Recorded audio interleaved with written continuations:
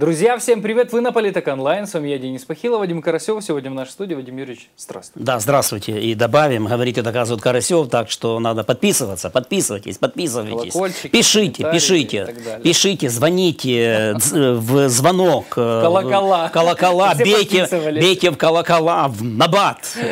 Давайте начнем. с Но не самого- забудьте подписаться, говорит и доказывает Карасев. Да, друзья, не забывайте. Э, Начнем с самого горячего, самого горячего события за нес- несколько последних дней. Э, Это Сергей Шефир и обстрел его автомобиля. Ну, точнее, не его автомобиля, автомобиля из э, квартала 95, как сказал сам господин Шефир. В полиции заявили, что целью нападения было убийство Шефира.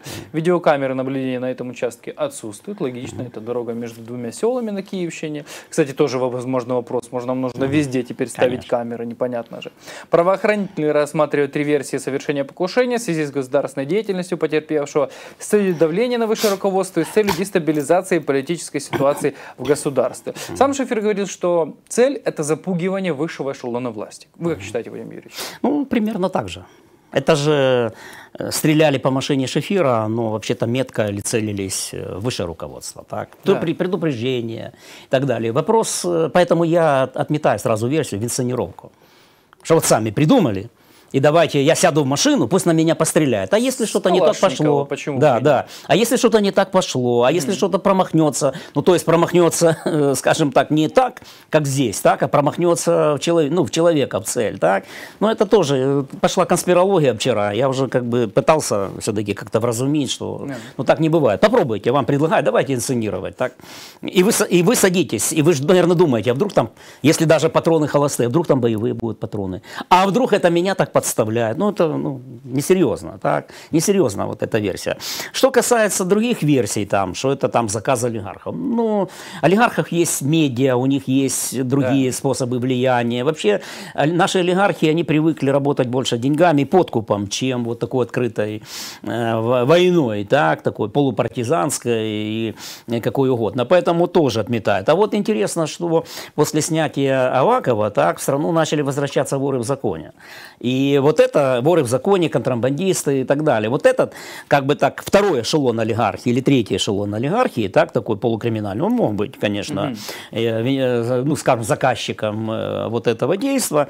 Но в любом случае вопрос же в другом. Что дальше? Да. И что это означает? Это означает серьезность ситуации.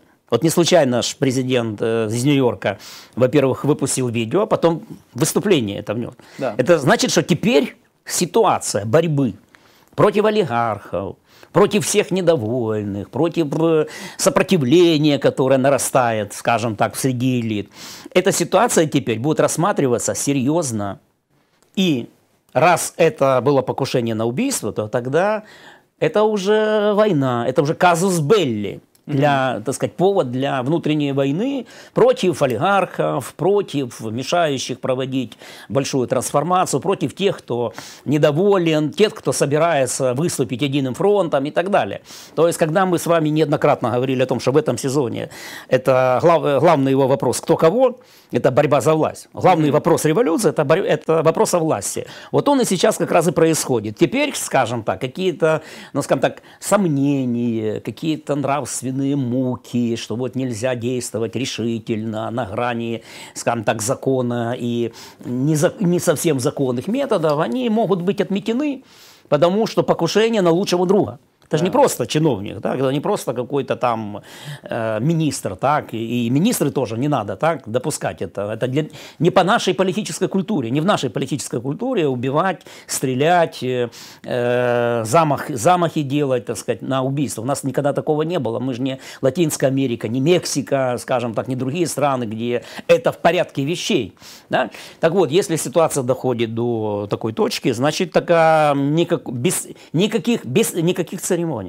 Бесцеремонно будут, скажем так, уничтожаться враги. Вопрос в том, кто будет назначен этим врагом. Да. Так? Ситуация вражды, то есть политическая ситуация из ситуации скажем так, конкуренции оппонентов, э, э, там, э, контрэлит или контрвластей, или каких-то там бунтарей, диссидентов, переходит в ситуацию вражды. Это что такое война? Война это всегда вражда. Точнее, война выступ, э, вырастает из вражды. Э, Война это всегда отношение друг и враг. Поэтому сегодня внутренняя политика, она может делиться на до покушения и после покушения. Это раз. На до Нью-Йоркской речи, так, и Леоновской речи э, Зеленского и после. И она теперь делится по принципу не власть-оппозиция, а скорее друг-враг. Все, кто со мной друзья, все, кто против, они могут быть врагами. Кто такие враги народа и как они, там, друзья народа, как они воюют там, против социал-демократии. Писал один классик mm-hmm. так, в начале 20-го столетия такую большую книгу. Вот примерно вот так. Это ситуация серьезности. Об этом писали, кстати, много. Вот, допустим, Карл Шмидт, известный э, политический теоретик войны, вражды, который рассматривал политику, в любую, не только внешнюю политику, но и внутреннюю политику, как отношение друга и врага. И он всегда говорил, что ситуация вражды, она всегда создает серьезность ситуации. Но для этого должны быть поводы какие-то. Вот, вот этот повод сделан. Поэтому сейчас спорить о том, кто там и как и так далее, пусть работают следователи, там, криминалисты да. и так далее. Политологи должны сегодня обсуждать не вот эти там, кто заказал и так далее, что дальше как дальше будут развиваться события. Вот сегодня уже мы же видим, что сразу как бы э, политика внутренняя наша стала более такой, ну скажем, жесткой, Угу. Жесткой, на, на словах, так, на словах, но потом и дела пойдут дальше. Мы видим, что сегодня в Верховной Раде слуги народа делают, действуют более напористо, так, бесцеремонно, невзирая там на какие-то там процедурные крючки, на которые хотят повесить их там оппоненты или там оппозиция в парламенте или там спикер и так далее. Ну, в общем, сейчас пойдет большая зачистка. Зачистка по, на основе закона об олигархах. Да. Я думаю, что РНБО может быть, вот на днях, да, причем не такое уже скайповое, а более подготовленное, с выводами, с, э, скажем, к решениями такими. Дальше, э, это уже, э, скажем, отзыв, назовем это так, Разумкова, так, это тоже на очереди дня. Ну и потом, наверное, начнут э, по Киеву действовать, потому что по-любому Разумкова уже, я думаю, Рубикон пройден вот этот, так? Так что еще называется Рубикон, перейти. Так, если говорить о нынешней ситуации, вот эти два дня, переход Рубикона. И потому что, смотрите, вот Разумков послал на Венецианскую комиссию закон об олигархах. Да. А вот закон о столице который сейчас тоже. Который Разумков лежит, тоже да? может угу. так послать его туда. И мы не знаем, какой отзыв будет, скорее всего, негативный будет Венецианской комиссии. Поэтому и Венецианскую комиссию тоже по боку. Не ждут, пока придет там ее этот э, вердикт, так, или там рекомендации. А почему по боку? Потому что вот смотрите, в чем суть речи э, в ООН э, Зеленского, что моральных сегодня образцов нет да. что это все лицемерие. Вот он, как любой, скажем так, любой, ну, э, такой, ну, скажем, человек еще не переработанный э, рутинной политикой, да, где вот эти все политесы, политкорректность и так далее. Кстати говоря, это не его стиль. Это стиль больше такой напористо-популистский, ну, как Трампа, например, как ряда других. Да. Э, это да, да. А Трамп же тоже говорил, что надо ООН разогнать. Так? Яркий, да. Да, да вот да. это все. Так вот, э, это, это, это срыватели массах лицемерия. Европа коррумп, коррумпированная, потому что Северный поток с Россией договорились. Поэтому шридеризация, меркелизация Европы – это что? Нам такая Европа нужна. Угу. Это вы учителя такие, это вы судьи, а судьи кто? Так? ООН Хорошо, вы тут всех учите миротворчеству, пацифизму, миру, дружбе и так далее. Вот. А что вы сделали для того, чтобы ну, как бы конфликты решить, помочь решить конфликт на Донбассе? Обеспечить э, а, вакцинами страны. Это да, например. второй момент. Да. Третий, вы Крымскую платформу проигнорировали и так далее. Запад, вы лицемерные. Вы, лице, вы лицемеры. Когда-то, может быть, вы давали, скажем так, золотой стандарт морали политики, но сегодня вы полностью отбросили свои обязательства помощи странам, которые там являются жертвами агрессии и так далее, потому что даже, даже некоторые скрытые упреки Байдену были, так, в адрес Байдена, так. Конечно, с НАТО надо дружить, но в военном отношении. Знаете, все хорошее Запада мы можем взять, там, военно, помочь в военном строительстве, там, какие-то инвестиции. Вот, вот эти все ценности европейские нет. А вот эти все ценности права и закона нет. Почему нет? Потому что Запад сам лицемерен. Он сам ушел от этих своих ценностных ориентиров, либерализма и так далее. В принципе, этот либеральный, антилиберальный бунт, простите, mm-hmm. антилиберальный бунт, он начинал кто? Начинал Путин, Мюнхенская речь, антизападный бунт такой, так, и Россия перешла на, э, скажем так, суверенный путь развития, путь Сначала была управляемая демократия, а после 2007 года, когда была Мюнхенская речь, суверенная демократия пошла. Потом, в конце э, 2000-х, начало 2010-х годов, к этому антилиберальному бунту, но уже на других основаниях. Уже подключились на базе борьбы против мигрантов незаконных, э, подключилась Польша и Венгрия, угу, такие бунтари, да. так, центральноевропейские бунтари, которые обвинили Запад в лживости и в скрытом таком негласном союзе Брюсселя и Африки, что вот приезжайте, но мы не для того шли в Европу, чтобы вы нас наводняли квотами э, сирийцев, там, э, э, Сомали или там Щада. Ну, или... То есть мы готовы помогать, но да, чтобы но это нет, было нет, нет, мы не для того боролись с коммунизмом, да, да. для того, чтобы попасть э, вне, в диктатуру неолиберализма и мультикультурализма. Мы должны сохранить свою, как Орбан писал, тысячелетнюю культуру, угу. Культуру Венгрии, так, тысячелетнюю культуру Венгрии, потому что эта миссия такая остается. Ну, в общем, это такой суверенистский или суверенный тренд. Так? И никто уже не рассматривает Запад как э, образ, как стандарт, которому надо подражать. Вот это закончилась эпоха подражательства, имитации Западу. Кстати, тоже ни в чем э, тут э, хорошего тоже, кстати говоря, мало, потому что тут мы сильно боролись с внешним управлением. Но так в этой стране, в этой mm-hmm. стране многие боролись с внешним управлением.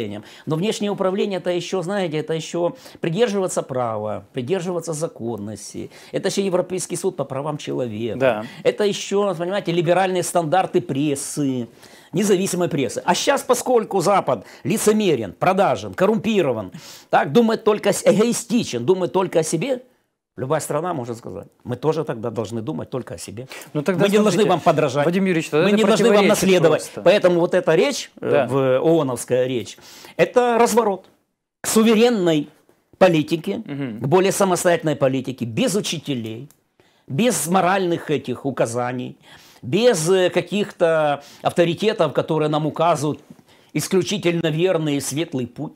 Мы теперь сами будем этот путь искать, внутри и вне. Внутри руки развязаны сегодня, вне тоже руки развязаны, не случайно же. Угу. Вот все последнее время э, Зеленский говорил, НАТО возьмите на... Ага, не берете? Даже получите отказ. В ЕС не берете? Северный поток построили? Построили. Мы вас просили, не стройте. Вы продажные, вы продали. Вы продали Европу, России. Теперь вы видите, что происходит. Путин газовой давкой, скажем так, эту Западную Европу берет в плен, берет в клещи, берет в петлю газовую.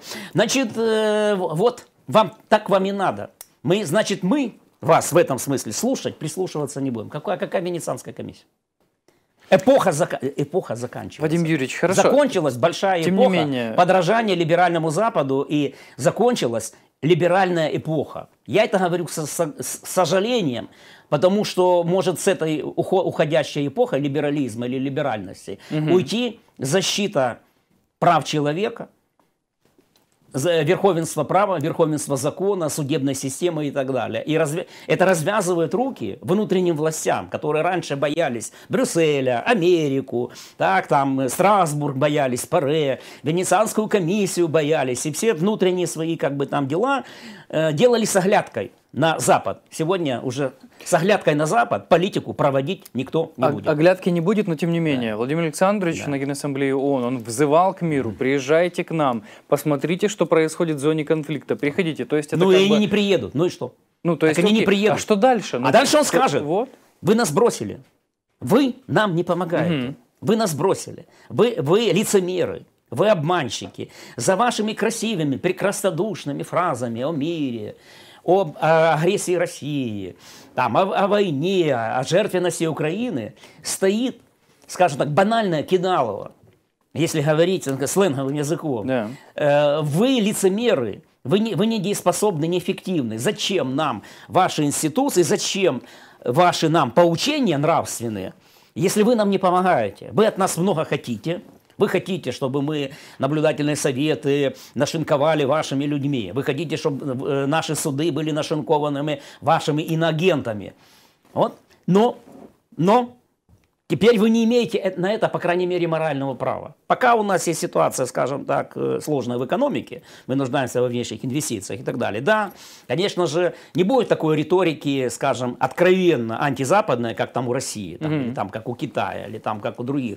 Вот. Но это будет такая больше риторика, похожа на ту, которую транслирует вот последнее время, уже в течение 10 лет, Виктор Орбан, который начинал как западник, будучи молодым, скажем так, политиком посткоммунистической Венгрии Венгрии э, Кончинский, так, и угу. Дуда, Моровецкий в Польше. Вот примерно в таком плане. Так, Восточная Европа заявляет о себе как каком-то новом полюсе Европы. Не России, угу. а новый полюс Европы, который как раз и будет хранителем вот этой истинной Европы, которая не испорчена там ЛГБТ, там э, не испорчена иммигрантами, не испорчена вот этой мультикультурализмом и мультирасовостью, мультиэтничностью и так далее. Потому что Восточная Европа это примерно однородные э, и, мульти, и э, моноэтничные нации и так далее. Вот это называется нелиберальная демократия или иллиберальная демократия, где либерализм потерпел крушение. Угу. Западноевропейского такого или атлантического плана. Это поражение атлантизма, как геополитической философии, которая делает ставку, или точнее приоритеты, у которой это права человека, права меньшинств разного рода, культурных, этнических, политических и так далее. Нет, это мажоритарная демократия. Миноритариям здесь нет места. Миноритарным группам здесь места нет. Они должны подчиниться беспрекословно, беспрекословно национальному большинству, ведомому лидерами, такими, которых голос звучит громко на весь мир – таких как Качинский, как э, Орбан, как ряд других, кстати говоря, э, скажем, ораторов, которые тоже, скажем так, трясли это ООНовское, скажем так, здание, ну, в условном смысле, конечно, как институцию, угу. так, и голоса которых до сих, пор, до сих пор помнят на Генассамблее и так далее. Вы знаете, То я есть уже это слышу, выступление такое, чтобы услышали, чтобы услышали, да. так, с одной да. стороны, э, услышали, увидели. Вот часто, вот сегодня говорят, там, ну, ну, мало людей. Ну, ну, там всегда на выступлениях, кстати, немного сидит. Вопрос, какой, какой дальше пойдет. Какая дальше волна пойдет. Понимаете, вот это главное. Ну и, конечно же, вот э, э, в этом смысле это и, чтобы услышали, чтобы помнили, чтобы запомнили. Mm-hmm. Во-вторых, это и симптомы вот этого нового поворота внутренней и внешней политики. Вадим Юрьевич, давайте от международной политики mm-hmm. вернемся к политике внутренней. Буквально у нас три минуты осталось. А, Киев, вы уже сегодня вспоминали о борьбе за столицу Украины. Вот пришла новость. Киев Совет назначил экс-начальника полиции Киева Андрея Крыщенко заместителем главы КГГА. Это предложение Кличко поддержал 91 mm-hmm. депутат. Зачем Виталию Владимировичу Андрей Крыщенко как его как заместитель главы КГГА? Ну, во-первых, это профи, э, силовик, да, очень важно с точки да. зрения укрепления в случае обороны против натиска власти, э, вот э, оборона Киевсовета, не оборона Киева, оборона э, Киевсовета и Киевской мэрии. Ну, это шутка немножко. Угу. Но это тоже многозначительно, что, как бы, во-первых, это любой здесь начнет расшифровывать это как какой-то негласный такой криптосоюз Кличко и Авакова. Так, во-вторых, э, Кличко и Крюченко, э, Крищенко, Крищенко да, да хорошее, скажем так, всегда было взаимодействие. Угу. Так, потому что начальник полиции Киева хорошо да. работал в связке. Вот. Ну, человек опытный, нельзя же его оставлять где-то в стороне. Нашли применение. Вот. Но это еще, скорее, не столько, главное здесь, не столько предоставление должности, так, э, такого утешительного приза Крищенко, сколько сигнал намек, месседж, послание центральной власти, что так просто взять Киев будет сложно.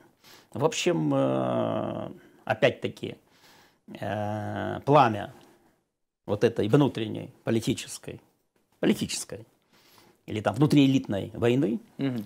оно постепенно-постепенно разгорается. Будем следить. Задача, период, когда надо было просто газету «Искра» взять, выпустить и под контроль взять. Угу. Потому что из «Искры» возгорится пламя, так э, вот он закончилась. Теперь уже э, не надо «Искра». «Искра» уже есть. Она фактически была вчера покушением. На вот эта «Искра». Это детонатор. Теперь э, ситуация станет более явной, более откровенной. Э, никто не будет уже, скажем так, какими-то такими обходными дипломатическими фразами камуфлировать свои истинные намерения, она переходит в открытую фазу. Ну, то, что для Кличко известно, это называется full контакт. Угу. Но э, власть тоже, скажем так, э, не против вот к такому full контакту и э, жесткой борьбы за доминирование. Это вопрос о власти. Сейчас решается вопрос о власти. Кого, какой И насколько, между прочим, потому что это либо закроет путь ко второму сроку, либо откроет уже путь к переизбранию Зеленского. Владимир Ильич, говорю вам огромное спасибо за то, что были сегодня в нашей студии. Друзья, не забывайте подписку на наш канал, не забывайте о подписке на канал «Говорит, доказывает Карасев». А лайки, комментарии, все это есть под видео. Спасибо за доверие. Да, спасибо. Не забудьте подписаться на «Говорите, доказывает Карасев».